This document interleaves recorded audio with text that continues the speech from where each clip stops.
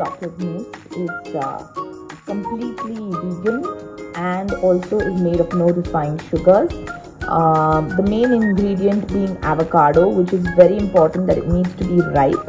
Um, by the end of the mousse, you won't even realize it's avocado. Just the creamy texture is what avocado gives it.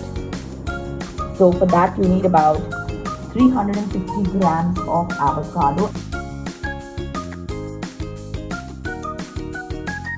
About one third cup of coconut milk. 60 gram of uh, cocoa powder. 70 grams of melted chocolate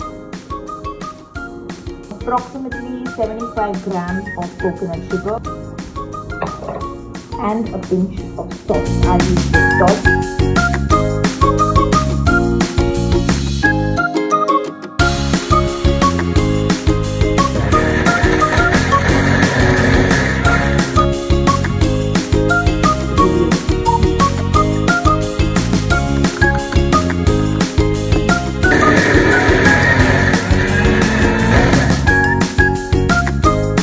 That is the consistency we're looking at.